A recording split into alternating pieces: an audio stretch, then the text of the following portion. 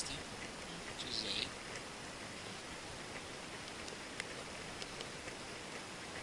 Spiegami, spiegami i tuoi, i tuoi sintomi.